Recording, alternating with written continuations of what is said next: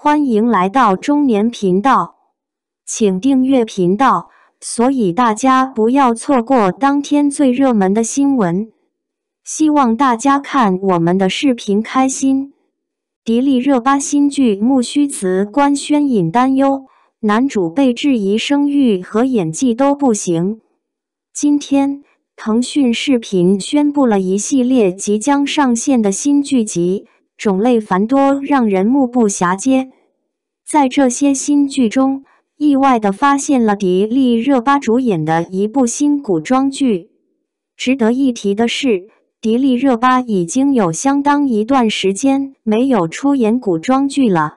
没想到她的下一部作品会选择在腾讯视频独家播放。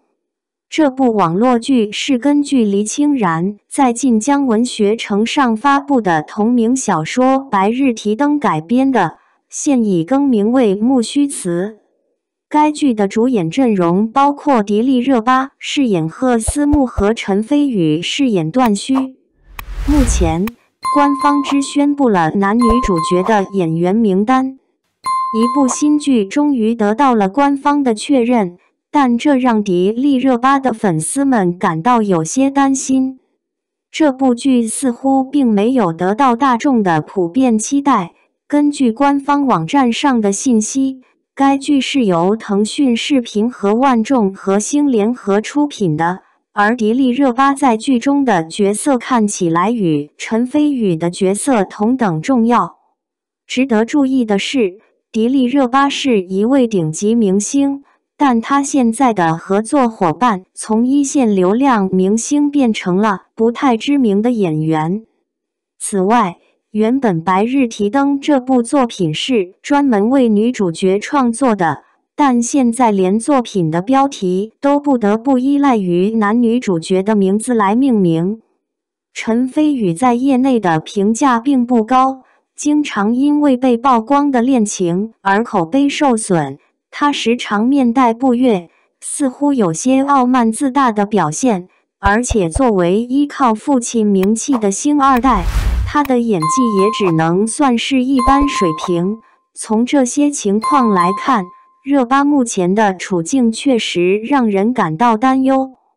迪丽热巴在家行的这段时间，资源真的是不太行，特别是杨幂离开家行之后。